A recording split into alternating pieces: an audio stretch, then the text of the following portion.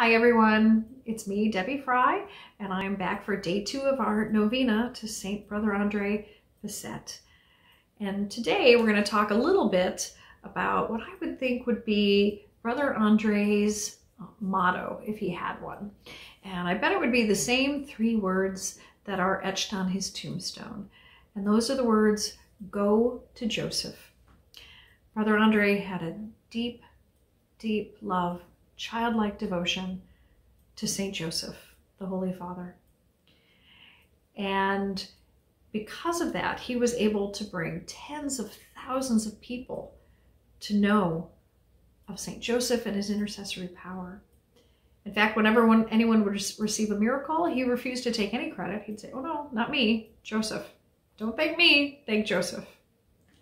He's actually even become known as the apostle to St. Joseph because he brought so many people to our quiet Holy Father. And his devotion to Joseph actually began in his childhood. He had a very difficult childhood. Uh, he was one of 12 children. When he was born, uh, he was born very sickly. He had chronic stomach problems. And uh, he actually received an emergency baptism because they didn't expect him to survive. He uh, actually lived to be 91, though. And at the turn of last century, that was pretty remarkable. So um, anyway, so he suffered from this horrible, debilitating pain. And uh, often his only food would be little tiny balls of bread that he would roll up and then dip in watered down milk because that was all his system could handle. He also lost his own father when he was six years old. His father was a woodworker and also took down trees. And, and maybe that's part of why Brother Andre developed such a strong love for St. Joseph, the carpenter. And when he was six years old, his father died in a very tragic accident where he was taking down a tree and the tree fell on him and killed him instantly. And imagine being six years old and losing your father that way. And six years after that, he lost his mother at the age of 12. She died of tuberculosis. And because Brother Andre was sick and uh, unable to work, as many of the other children could, um, he was sent to go live with other relatives. And so he was also separated from all of his siblings. So he lost his father and his mother and all of his siblings at the age of 12. And it's hard to even kind of fathom what that must have been like. And yet I'm sure that that grief and that pain and that trauma was the fertile soil where the Holy Spirit was able to sow a deep love and understanding of St. Joseph. And Brother Andre became deeply devoted to him. He really took St. Joseph as his spiritual father. When he would pray, he would be lost in in conversation in his mind with St. Joseph. And thank goodness he did, because look at how many of us have now come to know St. Joseph because of him.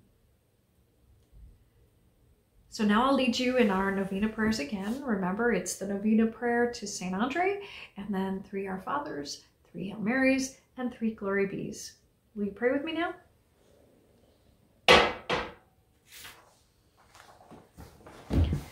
In the name of the Father, and of the Son, and of the Holy Spirit. Amen. Lord, you chose Saint Brother Andre to spread devotion to Saint Joseph and to dedicate his life to the poor and afflicted. Grant through his intercession the favors that we now request. For a renewed spirit of evangelization in our parish. Grant me the grace to imitate his piety and charity, so that with him I may share the rewards promised to all who care for their neighbors out of love for you. I make this prayer in the name of Jesus the Lord. Amen. Our Father, who art in heaven, hallowed be thy name. Thy kingdom come, thy will be done, on earth as it is in heaven.